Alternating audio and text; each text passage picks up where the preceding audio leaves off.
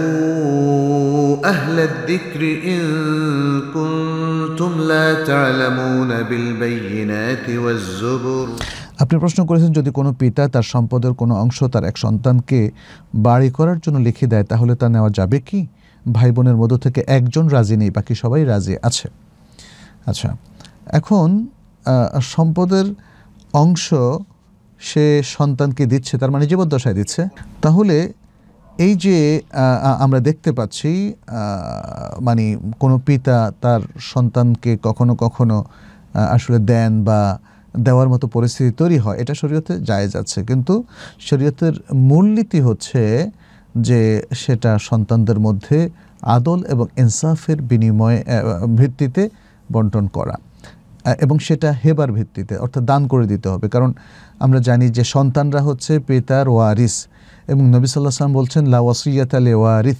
ওয়ারিসদের জন্য জীবদ্দশায় কোনো উইল করে রাখা যাবে না যে, আমার এই ছেলে, এই মেয়ে, এই জায়গার এই পাবে আমার মৃত্যুর পরে এই ধরনের উইল করা আর পারমিশন আল মানে শরীয়তের পক্ষ থেকে দেওয়া হয়নি। কেন? কারণ মৃত্যুর পরে সম্পদ শরিয়া ভিত্তিক কীভাবে বন্টন হবে এটা কোরআনে আল্লাহ সুবাহতাল্লাহ বিশদ ব্যাখ্যা করে দিয়েছেন। ফলে ওই জায়গায় আর কারও কোনো ধরনের চিন্তাভাবনা সেরিয়া অ্যালাউ করে না এবং allow- কোনো কোনো আলেমও কখনো অ্যালাউ করেননি। এটা বিলেজ মা বিলেজ মা এজমা সহকারে এটা সাব্যস্ত, যদিও আমাদের দেশের অনেক মানুষ সেটা জানে না এবং আমল করে না। আচ্ছা এটা গেলো একটা দিক। এখন দ্বিতীয় দিক হচ্ছে, জীবদ্দশায় পিতা তার সন্তানদেরকে কিছু জিনিস দিতে চান, তাহলে এটা তাকে ওই যে ওসিয়তের কায়দা দিতে পারবে না, এটা তাকে হেবা অথবা ডোনেট করে দিতে হবে, অথবা দিয়ে দিতে হবে গিফট আকারে দিয়ে দিতে হবে, যে কোনো একটা পন্থায়। তাকে দিয়ে দিতে হবে সত্যত্যাগ করে তাকে জীবদ্দশায় মালিক বানিয়ে দিতে হবে। আচ্ছা সেক্ষেত্রে মূলনীতিটা কি? সেক্ষেত্রে মূলনীতিটা হচ্ছে সব সন্তানকে সমান দেওয়া। সব সন্তানকে সমান দেওয়া। তো এখানে আমরা দেখতে পাচ্ছি যে আপনার বাবা তার কোনো এক সন্তানকে স্পেশাল দিতে চাচ্ছে, তাহলে একজন কিন্তু রাজি হচ্ছে না। অন্যরা রাজি, একজন রাজি হচ্ছে না। তাহলে সবাই যদি রাজি না হয় তাহলে এই বন্টনটা ভ্যালিড হবে না। এই বন্টনটা ভ্যালিড হবে না। এই প্রসঙ্গে তাহলে আমরা দলিলটা কি দলিল দেখি যে নরমান ইবনে বশিরের একটা হাদিস তিনি আমের বলছেন, আমি নরমান ইবনে বশিরকে বলতে শুনেছি কি যে তিনি তিনি একবার মেম্বরে দাঁড়িয়ে বলছিলেন, আতানি আবি আতিয়াতান, আমার বাবা আমাকে একটা একটা উপহার দিয়েছিলেন গিফট দিয়েছিলেন। ফাকালাত আমরাতু বিন্তু রাওয়াহা তখন আমার মা আমরা বিনতে রাওয়াহা, তিনি বললেন, লা আরদা হাত্তা তুশহেদা রাসুল আল্লাহ সাল্লাম।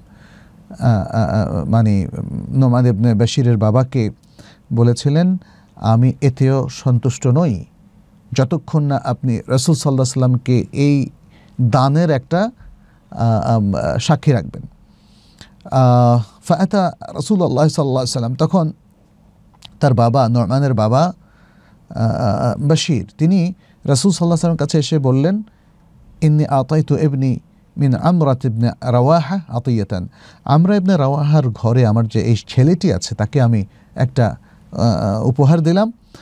আমারতনি আন উশহেদাকা ইয়া রাসূলুল্লাহ। তিনি আমাকে নির্দেশ দিলেন যে, হে আল্লাহ রসুল, আপনাকে যেন আমি সাক্ষী রাখি।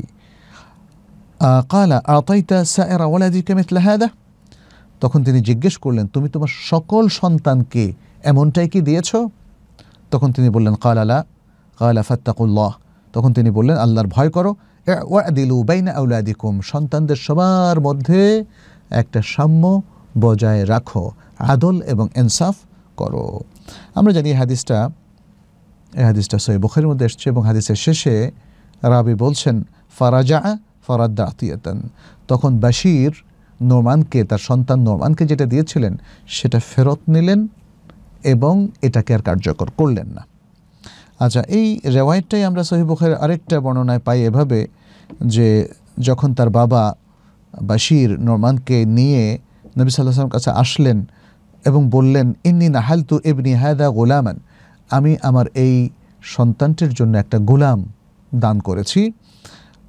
ফাকালা আকুল্লা ওয়ালাদিকা নাহালতা মিথলাহ তখন তিনি জিজ্ঞেস করলেন নবী সাল্লাহ সাল্লাম যে, তোমার প্রত্যেক সন্তানকে তুমি কি অনুরূপ দান করেছ? কালালা তো বললেন যে না। কালা ফারজাহু তুমি এটাকে ফেরত নাও। তুমি এটাকে ফেরত নাও। তাহলে এর দ্বারা প্রমাণিত হলো যে সন্তানদের মধ্যে কোনো বৈষম্য করা যাবে না। দানের ক্ষেত্রে একজনকে দেবেন, আরেকজনকে দেবেন না। এবং সেক্ষেত্রে যদি এমন হয় যে সকলের মধ্যে কেউ রাজি হলো, কেউ রাজি হলো না, তাহলেও আপনি সেটাকে কার্যকর করবেন না। তবে এখানে আরেকটা বিষয়ও আছে। যদি কোনো অসহায় সন্তান থেকে থাকে অধিকাংশ সন্তান যদি তাদের নিজেদের যেটা পাওনা সেটা থেকে তানাজুল করে যে আমাদের লাগবে না, তাহলে আপনি যেটা করতে পারেন, আপনি এই সন্তানকেও দিলেন, যে সন্তান রাজি না তাকেও দিলেন। বাকি যারা রাজি, তারা তো তানাজুল করল, তারা বলল যে আমাদের লাগবে না। তাহলে এটা কিন্তু শরীয়তে জায়জ আছে। কিন্তু যদি তাদেরকে আপনি মন খারাপ করে মুখে হয়তো লজ্জায় পড়ে বা সিচুয়েশনের চাপে পড়ে আমাদের লাগবে না বলে, তাহলে সেটা গ্রহণযোগ্য হবে না। এটা আমতেই বিন নাফস হতে হবে, স্বেচ্ছায় হতে হবে।